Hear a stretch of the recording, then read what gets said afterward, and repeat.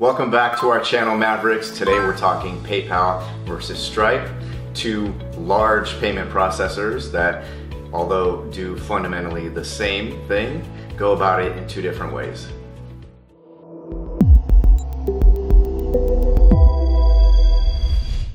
As we all know, PayPal is the user-friendly online payment processor that allows traditional business owners like you and I to integrate payments into our website or more recently uh, accept payments on the go and really makes it super easy for us to accept these payments without having any real technical know-how. Stripe on the other hand was built for website developers. It's a platform that allows really tech savvy coders to add payments to applications or more complicated websites that really need to modify the shopping cart experience or the checkout experience for those developers. Stripe operates behind the scenes in apps that you and I use on a daily basis to accept payments. So whenever you're you know, driving Lyft or taking a Lyft and you end up paying, Stripe is working behind the scenes there. They have a ton of other big name clientele like Instacart, DoorDash, Postmates. I think they're even working with Target these days. So with today's video, we're gonna break down how they're similar, how they're different, we're gonna put them into context and figure out which one of these guys is better for your business. We'll break down products and services, fees and rates, ease of use, and much more.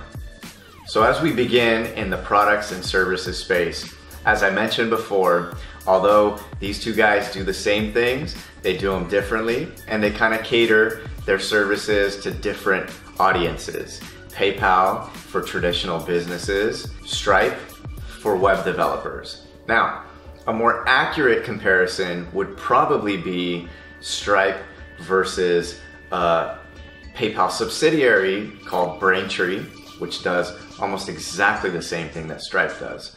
But for the sake of this video, we're just gonna stick to PayPal and Stripe and show you what they both offer. And so beginning with PayPal, as we all know, they're in the business of allowing average, everyday users to integrate payments into their websites very easily with several product and service offerings like PayPal Checkout, PayPal Payments, and PayPal Payments Pro. And they've more recently gotten into the traditional point of sale space with a mobile payments app and several integrations with larger, more in-depth point of sale solutions like the retail solution Vend. And looking at Stripe, although they offer very similar products and services, what they really focus on is customizability and creating code for developers to allow them to implement various types of checkout processes within their applications and on their websites. So we're talking support for credit cards, ACH, and localized payments. We're talking about support for online and in-app checkouts. And they also provide pre-built embeddable checkout forms plus the ability to build a form from scratch. And now they've recently created a software developer kit for what they call Square Terminal, which is essentially the ability to integrate Stripe with a traditional over-the-counter point-of-sale app. And so it's important to point out that PayPal is the more user-friendly, easier, non-tech savvy option and Stripe is for developers and anyone that really wants to be able to customize and code into their app. And so it's difficult to pick a winner in this category just because their offerings are targeted to different audiences. But if we had to choose, I would have to say that PayPal wins simply because not only do they have the user-friendly option, but they also, with their acquisition of a company called Braintree, have a very similar offering to Stripe.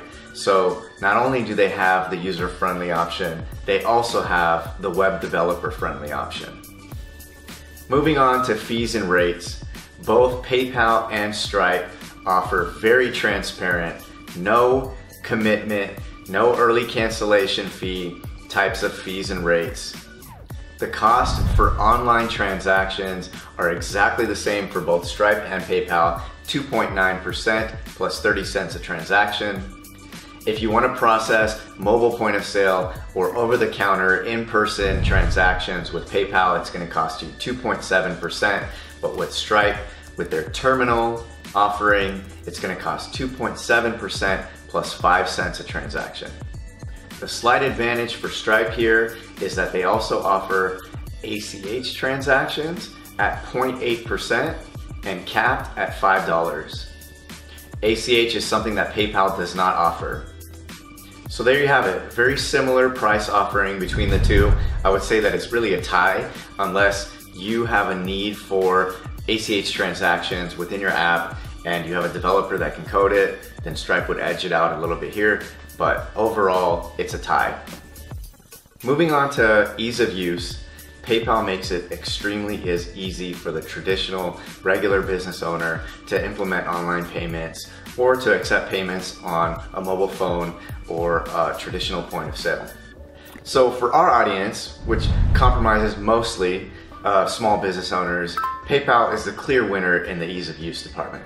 But if you're a developer and you are familiar with code and you need that customizability, then Stripe might be the easier option for you just because they've made integration of payments much easier for developers. But for our audience and our sake, PayPal wins in the ease of use department.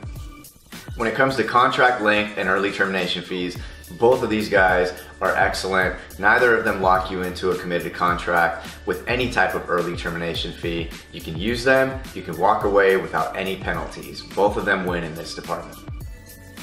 Moving on to sales and advertising transparency. Again, both of these guys are very upfront. They list all of their fees on their websites. There are no hidden fees. Everything that you see on the website, on the pricing pages, is what you're gonna end up paying. Both PayPal and Stripe win in that department. When it comes to customer service and technical support, both PayPal and Stripe offer a whole host of options like knowledge base, help center, live chat, phone support, email support, social media support. But as is to be expected from really large companies like these guys, it's usually hit or miss. Uh, you might get a great support agent, you might get a horrible support agent.